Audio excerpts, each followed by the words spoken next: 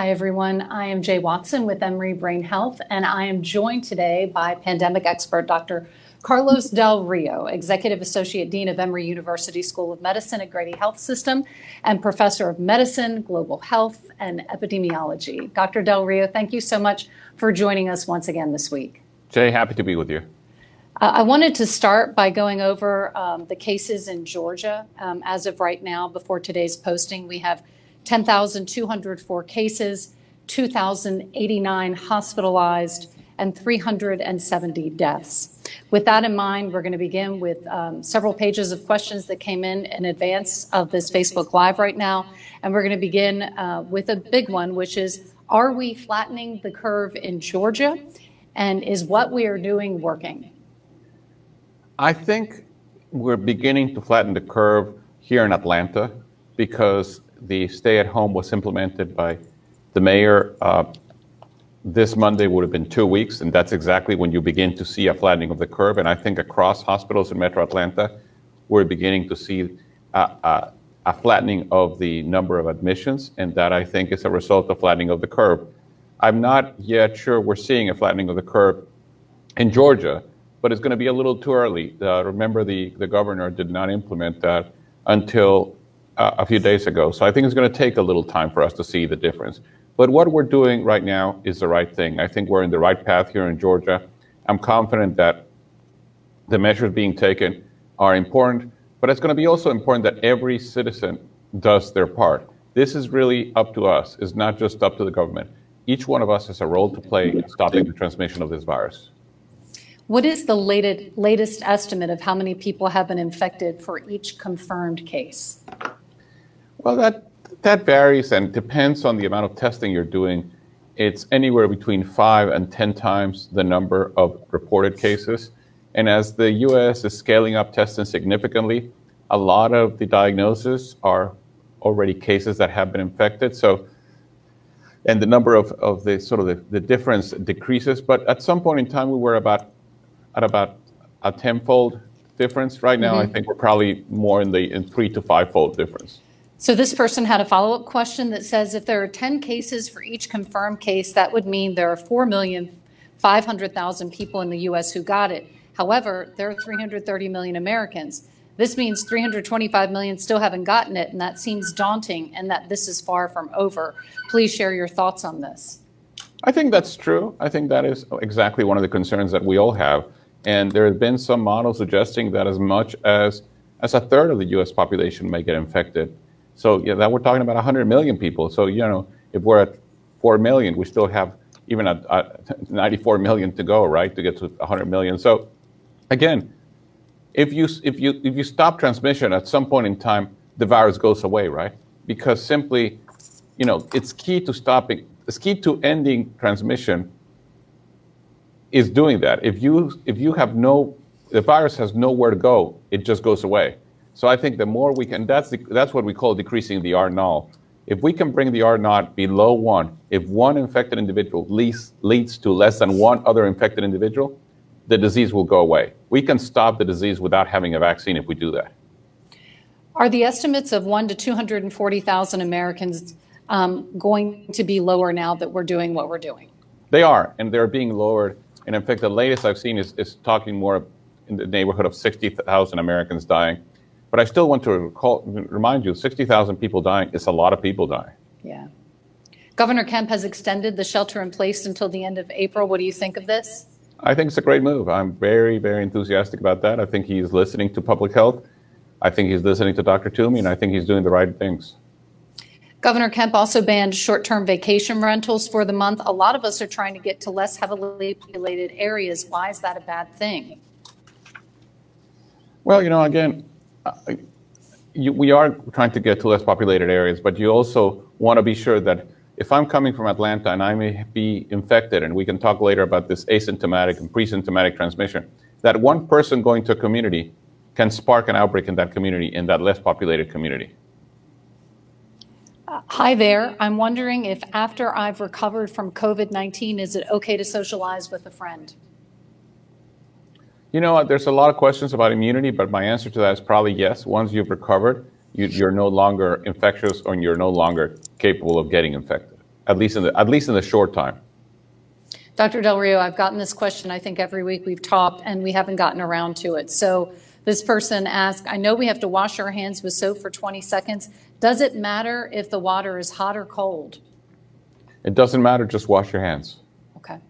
Okay. Can I drive around with the windows rolled down in my car? I know we had this, I believe, maybe the first That's, week. that's totally fine. Okay. I read a study out of Belgium that says that six feet isn't far enough away from each other when exercising outdoors. It says the person behind you can get caught in the slipstream of droplets that you're expelling. It says you should stay more like 12 to 15 feet away. Is Yeah, that this was- true? That was a really interesting uh, study. I, I think it may be true. I mean, I would say that it may be true, but I was talking to a friend of mine who says, you know, I run with a, with a running buddy, and we run parallel to each other, so we're together advancing at the same time. We're not one in front of the other, but we're you know at the, at the same. But we're still six feet a- apart from each other, but we're running together. That may be another strategy. I feel like hyd- hydroxychloroquine is a great option. So why aren't we using it more? I hear it can totally save people. Well, again, we don't make medical decisions on on I feel and I hear. Medical decisions, giving drugs to people, especially drugs that potentially have serious side effects, are giving on the basis of clinical trials. And we are conducting right now the clinical trials, and some of the clinical trials around hydroxychloroquine that are going to give us the answer. But you know, you, the same way you wouldn't treat you wouldn't treat somebody with cancer saying, "I hear that you know X drug works. I feel like we should give it to people."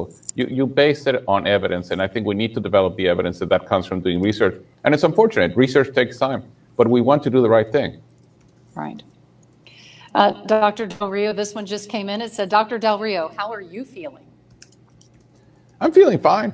I'm feeling tired, but I'm feeling fine. I just I just feel we're in a, you know, it's a, it's a it's a different world right now. It's a very, it's almost like a twilight zone. It's a, it's a bit of a of a very different environment, of a different uh, world we never. I mean, I just think about the world we lived in two months ago to where the world we live in today, right? And it's a very different world. But we we have to take care of ourselves, and we we're going to be out of this. We just need to we just need to hunker down and do what we need to do, and we'll get out of this. Talk about the things we took for granted, right? Yeah, I saw mean- somebody saying we were going from standard time and we didn't realize when we switched the clocks, we were actually going to the twilight zone. Exactly. That's exactly Yeah. right. Um, is it true the federal stockpile is depleted? And if so, what does that mean for our local hospitals? Uh, I, I don't think the federal stockpile is depleted. I think they have actually started to release things from the federal stockpile. They're going to different places, but they also are buying more things. So I think it's a, again, we- we have an unprecedented need for the things in the federal stockpile. So it's not just a matter of releasing; it's a matter of, of sort of supply chain, right? You need to continue having things come there, and they are. Is there concern about long term lung damage in mild cases of COVID 19? In general, no. But again, a lot of things that I've read about people with lung damage are people that have pre-existing lung conditions. So if you have chronic lung disease, if you're a smoker and you get an infection, you may have, you know, uh, residual scarring and residual effects. But that's with this virus or with any other virus. The bottom line, if you smoke, if you you have problems with your lungs, you're you're predisposed to have damage from other viruses, not just from this one. It's finally coming out that African Americans are hit much harder by this virus, and it scares me. This wasn't reported before. Why are more, more African Americans dying from COVID 19? Well, that's a really important and interesting question, and there could be many reasons for that. Some of them biological, some of them uh, uh, environmental, some of them uh, just societal, right? First of all, this is not the only disease for which there are racial disparities in this country. There are enormous racial disparities in, in almost any disease that we look at. And I think as a country, we need to start thinking about addressing racial disparities and start just talking about it and really doing something about it.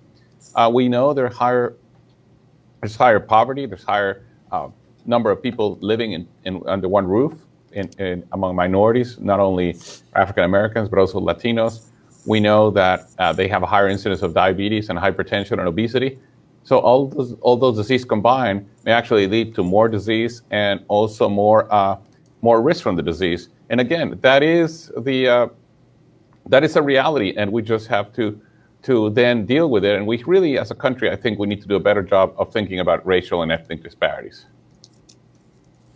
My question is about the upcoming election just postponed to June 9th. The new equipment requires us to touch six common pieces of equipment, touch screens and ballot access cards, for example. Wouldn't paper ballots be safer? There may be, but you know, take your Purell, and after you touch something, I, you know, you go to the grocery store and you touch the keypad for your enter your PIN. So just take a bottle of, of something to clean your hands after you do the touching, and that's it. Can one have it and have several symptoms but no fever? Yes, at presentation you may not have fever, but eventually we're seeing most people getting some degree of fever. If you or your child have been truly quarantined for over three weeks, and so has a family member or friend in a separate household, is it safe to visit on Easter? No, it probably is. It probably is. But again, you need to be sure that they're truly having been quarantined and they're not in touch with each other. When do they expect the COVID 19 antibody test to be available? Uh, there's one already available, and there's a couple more in development and in approval process. I suspect they'll be available in the next several weeks. If we are elderly with comorbidities, are we going to have to shelter until a vaccine is developed? Again, I don't know the answer to that. Uh, I hope not. I mean, I think that what we want to do is hopefully, again, if we can decrease transmission, things are going to be much better, right? But we have to decrease transmission. Mm-hmm. How effective are homemade masks really? You know, again, home, let's talk about masks. There's several types of masks. There are medical masks, and in the hospital we have this one that we call a surgical mask. And a surgical mask is typically what the surgeon uses. And, you know, they're put like this, and this is a surgical mask. And again, it's got to cover your nose. And this mask is typically used for the surgeon to prevent things in my mouth to go through the mask into the patient. Then there is this kind of mask, which is called an N95 mask. And an N95 mask is a mask that prevents things from the outside to come in inside. So this is what I use when I go see a patient that has an infection like, like COVID. And then there's this kind of mask that are called the a cloth mask. This is the ones that you will be making at home, right? And right. this and this masks are also good to prevent things from going from from my mouth to the outside. So the reason to wear a mask in public is not to protect me, it's actually to protect others. If everybody uses it, you're protecting others. And what it does, the reason to wear a mask in public is asymptomatic transmission. So mm-hmm. you may, we have learned now that people start transmitting the disease 24 to 48 hours before they develop symptoms. They start transmitting the virus 24 to 48 hours before. So I could be in the grocery store I look fine, I feel fine, but I'm there, I'm talking to the cashier, talking to you, and, and I could be then transmitting the disease. And the idea of wearing a mask is it, my transmission decreases. And we know from study, a recent study published by investi- uh, researchers at Yale University, that if everybody wore masks in the street, we will cut transmission in, at a population level by about 10 to 20 percent. So I think it's it's not perfect, but it's better than nothing. It for sure is. Uh, what is the surge in Georgia expected to look like, and does the state's contingency planning include the building of field hospitals? Well, we, we expect the surge to hit somewhere uh, next week, and we think it's going to look like uh, you know a lot of patients coming to hospitals. And yes, uh, the, the state is building field hospitals and is building field ICUs and is really getting ready for that. And again, the strategy has been and is always, and it will continue to be, let's prepare for the worst and hope for the best. If we have extra mm-hmm. capacity that is not used, that's actually really good.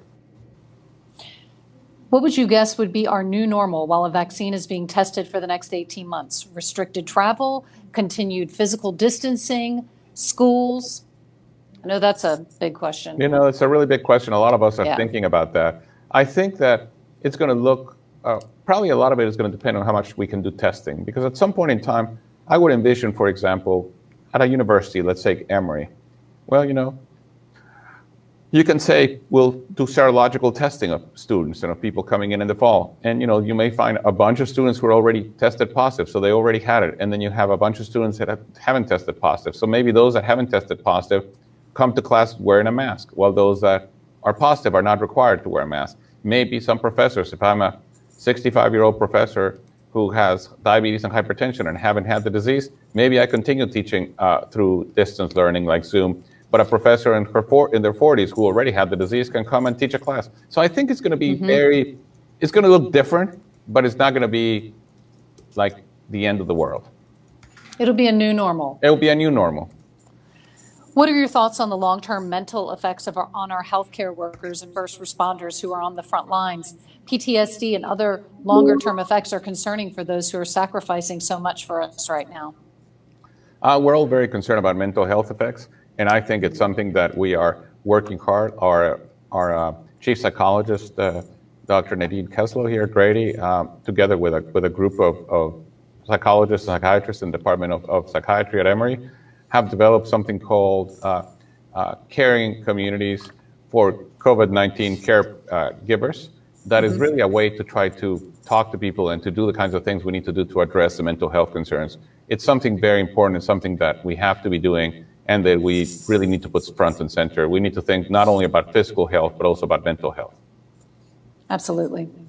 I have heard a lot lately saying if you take vitamins to ramp up your immune system, it might cause the virus to be worse on you. Is that true? I don't think it does either. Okay. Uh, from, a fu- from a funeral home perspective, if a deceased body that is infected by COVID 19 can it still be transmitted? And how long in and on the body after the host has died would the virus live? So there's, yeah. there's, there's some literature about, about this, and the recommendations is that, you know, essentially a dead body in a respiratory virus is not going to transmit because you're not going to have the secrete, the, the, you know, the breath and other things coming out. And in funeral homes, they're going to use gloves and they're going to use a mask, and that's going to be fine. There's no risk of transmission, really. What about the recent report of COVID in cats? Is this something to be worried about? You know, cats have always had coronavirus. They coronavirus is like animals, like cats.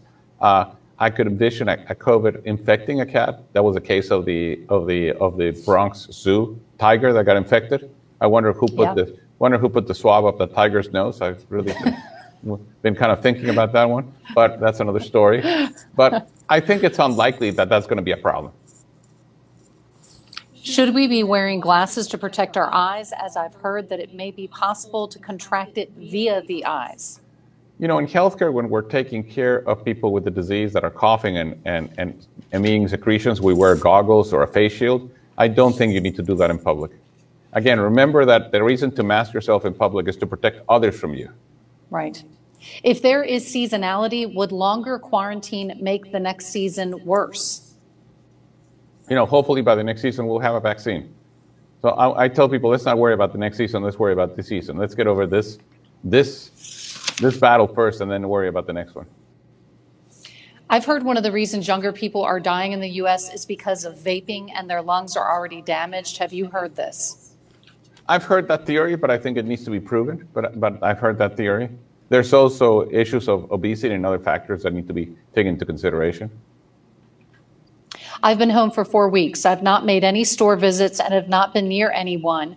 I sanitize my groceries and deliveries. Have I removed my chances for becoming infected with COVID 19?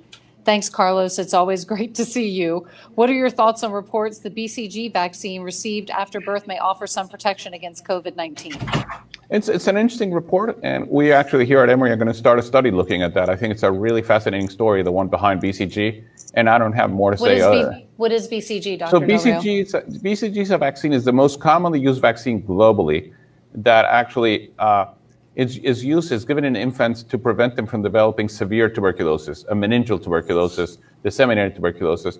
We have not been using it in the United States routinely and many other high income countries because we don't have enough tuberculosis. But in poor countries and developing countries, it continues to be used. And in fact, as I said, is the most commonly used vaccine globally. And there is some, some uh, data out there suggesting that maybe it produces some degree of protection. And that's why we're not seeing as many cases in Africa and in other countries where there's a lot of BCG vaccination.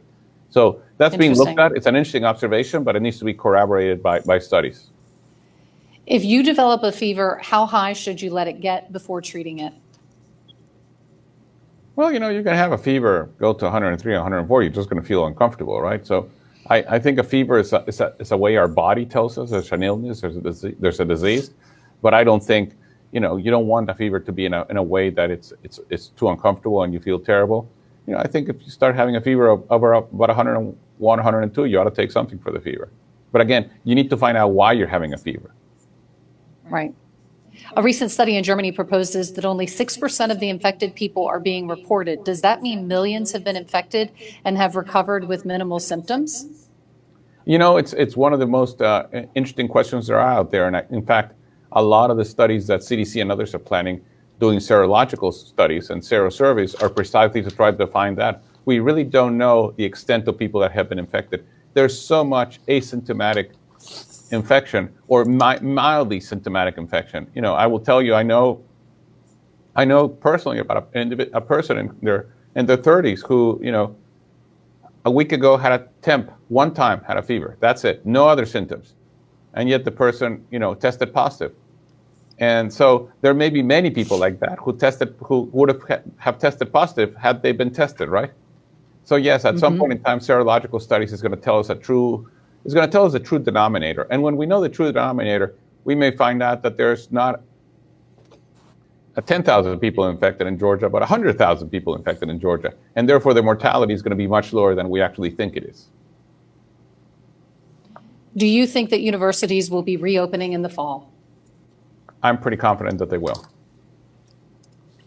In the hospital, we've been discharging PUI COVID patient, positive patients back to their homes to self quarantine when they often do not have adequate places to do so and will likely expose their families. Is there any possibility of opening up dorms and hotels as potential places for these people to quarantine in Atlanta? Yes, people are looking at that because that is actually an important point. If somebody is discharged uh, and they're still uh, infected and they're still trans- potentially transmitting, uh, they should not be at home with, with others that could, could get infected. But again, I remind you of two things. CDC has told us that seven days after symptoms, when they have resolved, you're not infectious anymore. So if somebody's been in the hospital for a week, they're probably fine going home. Should I start wearing a mask around my home if I have a fever and haven't received a positive diagnosis yet? Yes. Is there any news to share on the vaccine trial that started recently or new treatments for COVID 19? You know, the news is that the vaccine trials are progressing. We have enrolled people, they're progressing, but, you know, uh, it's, a, it's a slow process, but it's coming along. I would say that the vaccine pr- trials are underway and people are enrolling. Uh, and same thing with treatment. I think with one of the trials that we're involved here at Emory, the uh, one of the remdesivir trials we're involved here at Emory, that trial probably will be fully enrolled uh, next week. And nationally, there's 54 centers that are enrolling, and it is very, very likely that by uh, that in a couple of weeks or maybe sometime in late May, we will have at least some some initial uh, results saying does it work or doesn't does it not work. How long should you quarantine after having symptoms? Some say 72 hours with no fever, others up to 21 days. So the recommendation is if you had the disease, you should isolate yourself and you can come off isolation for and they're said 70, 72 hours without symptoms. So if you're still having fever or you're still having not feeling well, that doesn't count. Well, from the moment you're actually feeling totally fine, count 72 hours. Or count seven days after your symptoms resolve, whatever is longer. Do you think that all people should eventually get a COVID antibody test? Well, you know, once when it's available, I certainly think that some people are are really important that they get a COVID antibody test, and those will be healthcare workers. Those will be, you know, people that are exposed to a lot of people, like teachers and, and, and others. I think if you are, you know, somebody that, you know, that is not exposed to a lot of people, you probably don't need it, right? But if you're going to be in environments where you're exposed to a lot of people, it probably is a good idea. When do you think coronavirus will peak in Georgia? Again, you know, it's a, it's, it's a guess, but sometime in, in, in, in mid to late April, somewhere around the 20th of April, I think so. What is known about the sensitivity of the diagnostics being used currently, point of care, Abbott versus others, and what does this mean for the epidemic in Georgia? So we don't know a lot because again, we don't really know. I mean, many of them have not been tested against a gold standard. So, but we know that, you know, we clinicians talk about sensitivity and specificity of the test, meaning the ability to diagnose uh, some, someone. The laboratory people talk about sensitivity and specificity of the assay, of the test itself. And the sensitivity of the test is pretty good, but it depends on getting a good sample that you can actually run in the machine. And sometimes a lot of the problems that we're seeing is because they're simply poor samples. And if the sample is not good, the, the test is not going to work.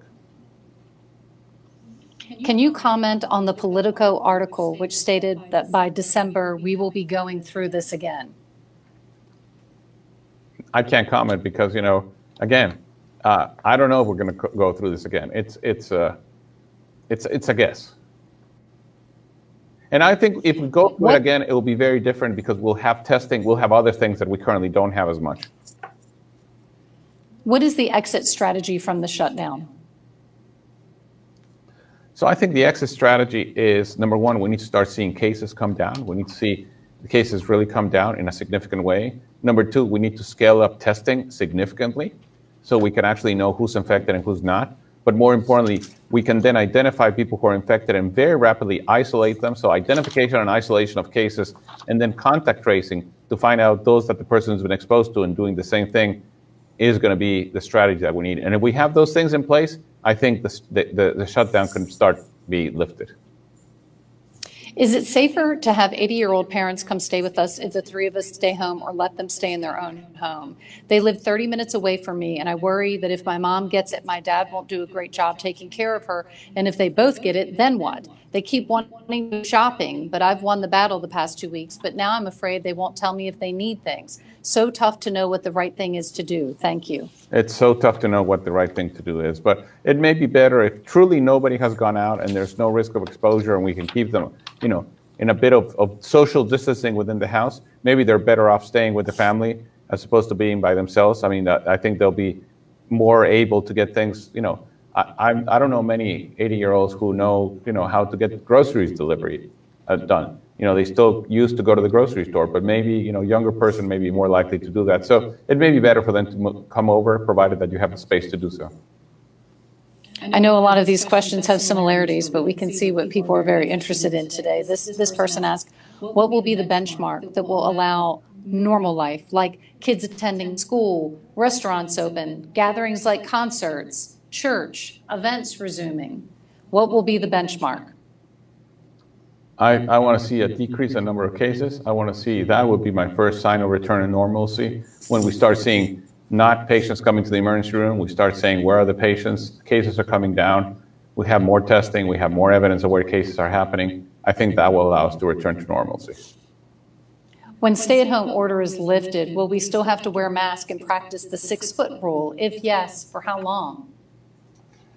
You know, I don't know, but I think it's going to be a different world. It may be that you don't need to practice the six feet rule everywhere, but it may be that if you, you know, I'm not sure, I'm not sure I'm going to run this fall and attend a, you know, a major uh, mega church event, or I'm not sure I want to go to a big, you know, sports event. I love going to baseball, but is that the right thing to do when we start lifting this? I'm not sure. I think there's a lot, a lot of un- unknowns at this point in time, and I don't think anybody has the right answers. And I think a lot of what's going to happen is we're going to test something, do it. It didn't work. We'll have go back, right? This is going to be mm-hmm. a, a, sort of a, te- a, a, test and treat approach. I don't think we, I don't think anybody knows the right answer. In the absence of a vaccine, it's very hard to know the right answer. Uh, I've heard a lot of people worrying that we're going to do away with the handshake. What do you think of that? You know, I've heard that too. Uh, I hope we don't, but I've heard that too. Maybe we, we shake hands and then we, we, we Purell each other, right? It'll be the handshake and Purell approach. um, this is from a healthcare worker, Dr. Del Rio. When do you think healthcare workers will be able to be tested? Going in daily and going back home to our families can be so scary. It is scary, and I think again, uh, I want to thank healthcare workers for what they're doing and being in the front lines. This is not only are we uh, providing care, but people are not only providing care, they're doing it with gusto and they're doing it exposing themselves and potentially even taking uh, infection back to their home. So again, uh, real heroes, and it's not just people in health. It's also I think about you know the people working in, in, in grocery stores and in delivery and, and other places uh, they're doing the job that is keeping things going, and I think that's really uh, remarkable and something we all need to be happy about. But the uh, the testing really is going to be depending on what happens. I think a lot of scaling up testing is happening. Uh, you know, here in Georgia, CVS is going to start doing the, the Abbott rapid test pretty soon, and probably this week, and they're going to start doing a thousand tests a week. Then we're going to have serological testing. So I think, you know, it's just a matter of time be- before we have a really more robust testing capabilities in this country that I think are going to change things dramatically. Are hospitals in Georgia coordinating resources and case management to help improve outcomes? There's a lot of coordination happening across hospitals, and I think it's happening more coordination than we've ever seen. And I've heard actually, even here in Metro Atlanta, hospitals, uh, CEOs, I've, I've heard we're talking to each other and saying, you know, this is not the time to compete against each other like we normally do. This is a time to, to work together and to do it effectively, and they're doing that. I don't know how much coordination is happening. I'm not in those meetings, but I know they're at least having meetings and they're talking to each other, and that's a huge change from wherever we've been before. Regarding medical students, do you think we can return to clerkships if we have not had the virus, or should recovered only students return? Good question, right? I don't know the answer to that. Clearly, recovered students can come back. Maybe the students that are that are uh, that have not uh, had the disease need to continue. You know, will be able to come, but then we'll have to wear a mask. Right now in the hospital, everybody's wearing a mask. We have a universal masking policy here at Grady, and it is, again, about, about protecting ourselves and protecting others from, from the disease. What are the chances of needing hospital admission if you've already been having difficulty breathing and fever for over three weeks? I think you need to be evaluated. Okay. And I know a lot of people have talked about the difficulty in decision making in where to get evaluated. So if just an average person is saying, okay, this is me for three weeks, where do you recommend I go, Dr. Del Rio? What's your advice on that? Well, my advice is number one, use the coronavirus checker that Emory has developed, because that will tell you whether you need to be evaluated or not, and even by your zip code, tell you where to get evaluated by yours. It may be an urgent care center near, near you. It may be your primary care physician. It may be an an emergency room. I think it really depends, and I think it's going to depend what you know what availability you have to your primary care physician and our urgent care center, and what availability you have, and maybe just even making a phone call. Mm-hmm. Uh, given the unknowns, and I'll tell you, we've gotten this question a couple times during our live. Uh, how do you foresee sporting events being played within a stadium setting? And I know you were just talking about the fact that you love I, baseball. You I also know how much people miss it. Yeah, I think it's I think it's going to be difficult. I'm not sure what the answer to that is going to be, right? Because um, there's going to be chances of transmission. There's going to be the possibility of transmission, and I think uh, of if, if right now is not the right thing to do, but maybe in the fall it will be. Uh, I think we all want to get back to sports. Sports are really important in our lives, are really important in our society.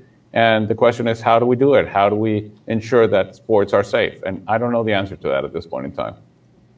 How long between exposure and being detected on a test? If I'm exposed on a Tuesday, would it show up in a test on Wednesday? It, it, it probably won't. It needs a couple days, and we think that it's the average is about five days.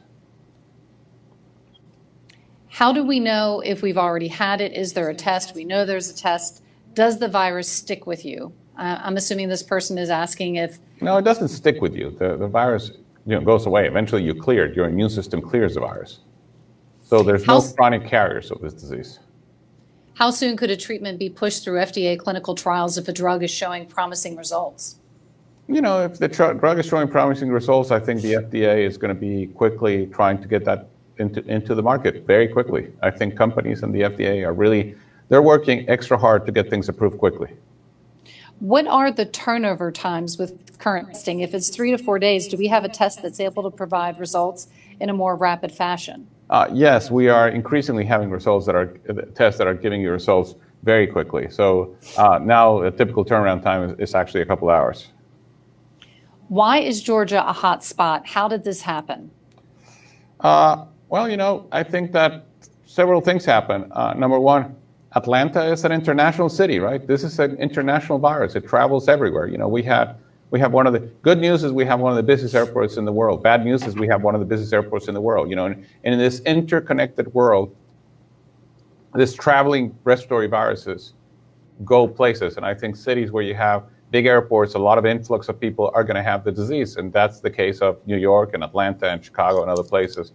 But there's also in Georgia, we also have learned the impact of gatherings, right? And the outbreak mm-hmm. in, in, in, Albany, for example, linked to a funeral. There was one person, one infected person that went to a funeral, and that caused a huge outbreak within that those two funerals that occurred. Uh, I think that is a reminder again of the mayor of, of, uh, of Dougherty County said in an interview something that I think is very important. You, we're all one person away, one infection away from having an outbreak. So when when you have people going from, you know, somebody from New York or somebody from Atlanta could travel to a community there's no cases, and that person take the infection there, and all of a sudden you have an explosion. So the, the this virus moves and transmits very silently until you see a, a you know a, a cases, and that's why we have to practice social distancing. That's why it's very important that we don't have gather in big groups right now, because you're not immune just because you don't have it. Another question, Dr. Del Rio. What is a chronic carrier?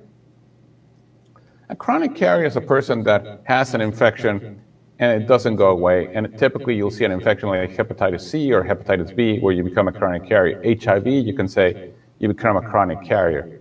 But, but in this virus, in coronavirus, you don't become a chronic carrier. Does the virus stay on clothing? Good question, and the answer is probably not. After the 14 day isolation and the symptoms lessen, how long does the reoccurring symptoms last? That sounds like that's two questions put together. Well, again, if you have recurrent symptoms, you're not recovered. Recovery means you have no symptoms. I am missing my cancer treatments because I'm afraid to go to the hospital. I'm in the highest risk group. What should I do? I think you need to talk to your oncologist. If you need your treatments, there's way to do it. There's ways to do it safely. I know here at Emory, the oncologists are working very hard to ensure that their patients continue getting their therapy that is necessary and, and do it in a safe way. Once you have it, are you immune like chickenpox? We think so. Why is the disease progression so different in different patient populations?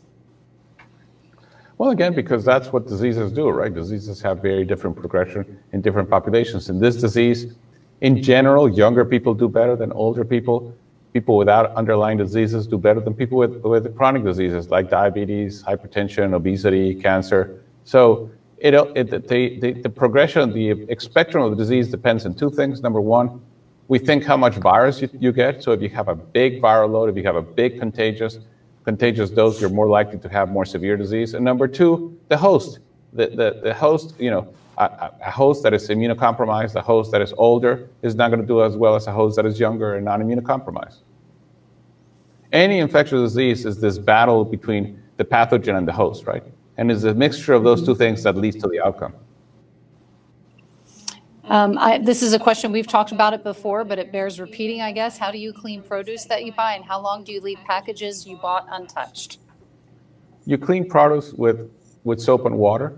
I mean, I think I would. I I'm not seeing in my house anything different than we've always done, as far as cleaning of produce is concerned. You cook them, you clean them, you you put them in the refrigerator, you put them away in the pantry. Um, packages that you get, you know, I would say it depends. I mean, you get, let's say, let's get, let's say I took takeout the other day. So I get the package with a takeout. I get the stuff out of the out of the foam uh, styrofoam package. I put it in a plate in my house. I clean my hands. I take the package. I you know dispose of it. I put it in a plastic bag. Dispose of it. Uh, close. You know after I put all the packages in there, close that plastic bag, throw it away, and then I clean my hands. Period. That's all you need to do. Uh, this question makes me think of how much we're all missing each other right now, uh, being apart, because this question is can the virus be transferred via a pet's fur? Can we pet other people's animals? Yes, we can. Okay, that's good to know. I have not been petting anyone's dogs. Um, does the virus live on fresh produce? I know this ties into what you just answered, but does it live there? You know, chances are it doesn't. Again, viruses need to live inside cells. They're just not sitting there. They, it would live in a produce if the produce had been contaminated with saliva from somebody. And, you know, again, I recommend that you wash your produce. All right. All right, last few questions here. We've taken up a lot of your time. Is it safe to do outdoor physical activity with others, two others max, as long as physical distance is maintained? I think so. I mean, I think that's a good idea. Keep physical distance and make sure that the person exercising with you is also healthy. Everybody needs to be healthy, right? If somebody doesn't feel well, they should not be exercising with you. Our last question for you today How long does it take someone to recover from this virus? Anecdotally, we're hearing from people here in Atlanta who have it who say they feel quite terrible for weeks and weeks, and a lot of people are saying it's a month before they're normal again. Is that typical with this? And most people get better after about two weeks. Uh, it may take a little longer in some individuals, but most people are at the end of seven to, to, four, to two weeks are doing fine. Seven days to two weeks are doing fine. The great majority. Now you have people that are very ill and end up in the hospital, and they're in the hospital for three or four weeks. So it really, I mean, again, we talk about the spectrum of illness, but the great majority of people recover pretty quickly. Dr. Del Rio, here's here's how I'd like to wrap this with you, if you don't mind, and humor me. The one thing I've heard from so many people that's difficult is the uncertainty of all of this not just the physical distance we're keeping from each other, but not knowing exactly how this is going to play out, worrying that if it gets normal this summer, it's going to start all over again in the fall. So, what is your best doctor, dad advice for all of us who are getting through this one day at a time? And a lot of people say that, you know, April so far feels like it's five years long. Well, you know, give us, give us your best all, pep talk. First of all, I tell people let's erase April from our calendars because, I, again, I agree. The best thing we can do is erase April from our calendars. This is going to be a really tough month. Let's let's also uh, keep in mind that this is going to end, but it's going to end. Uh, a lot of it depends on how much we do the right things. Each one of us contributes to doing the right thing so we can stop the transmission of the virus. The more we do our part, the more likely we are to get a good result. And then I would say, yes, uncertainty is, is horrible. I, I don't like it. Nobody does. We all love our lives that are structured. We know what to expect. We know what's going to happen. And right now we're living in a little bit of a, of a dream, right? Of something that we don't recognize. And, and it's a little bit of a nightmare and it's very hard. And I would say that we need to do a couple of things. Number one, we need to take care of each other. And uh, I think we're fortunate that this is happening at a time that we have uh, technology like this one that allows me to see you right now, that allows me to talk to you, that I almost feel like I'm talking to you in, in person, as right. opposed to being, you know, several miles away. I think that we need to connect with our families. We need to connect with our friends. We need to connect with each other. We need to do things that, that, that, that give us joy in our lives. We need to remind of those little things that are enjoyable in life. We need to be sure that we don't forget that life is worth living and that we we are we're here for a reason and that we can work together and get this done and, and think about all the good things that have happened thus far. And you know, life is full of of joys and, and difficult times, joys and sorrows, and this is the course of life. And uh, and you have to live through it and you have to really enjoy every minute of it. And even in the worst of times, there, there are moments of joy that we should embrace, we should uh, feel good about, and we should celebrate. So don't stop celebrating just because we're apart. Continue celebrating and continue enjoying life. A, a little glimpse into your life that I see on Twitter is you share at night pieces of classical music that you love. So I'm guessing that's one of the ways that you make yourself feel better. You know, for me, uh, yes, uh, listening to music is a way that I like to end my day. I, I also like reading a lot. I have not been able to do a lot of reading, honestly, because I'm exhausted, but I can you know, sit down and close my eyes and listen to some music. And I think when I think about music, when I think about those beautiful things, art, uh, you know, sound, uh, there's there's so much to be said. There's so much to be enjoyed in life, and and that you're absolutely right. For me, I could not envision a world without music, and I could not envision a world in which I'm I'm hearing creativity and I'm hearing uh, just the the wonders that that the human spirit and the human mind are able to create. So yes, it may be for one for me it may be music, for somebody else it may be watching birds or seeing the flowers, and for other person it may be you know a painting or doing. But do something that brings joy to your life, that brings brings peace to your life, and then more importantly allows you to to to not uh, reverberate and not continue thinking about about what if, what if, what if because the what if is, is really incredibly stressful and, and anxiety provoking and is not leading to anything good. Well, I can't thank you enough for taking the time to talk to us. Uh, I feel like over the course of these several weeks, where everyone's gotten a chance to bring their questions to you. I mean, obviously, you're not only a pandemic expert, but uh, oftentimes I feel like you're a coach um, trying to help the team that is Georgia uh, get through this. So thank you, and I know that we will see you again soon. Thank you for all your hard work, and uh, we'll we'll see you soon. Thanks. We'll be in touch, and again, uh, people need to ask questions because questions are important, and we're happy to answer them. Thank you. Take care. Be well, take care. You too. All right, everyone, see you soon. Stay home, stay healthy. Bye.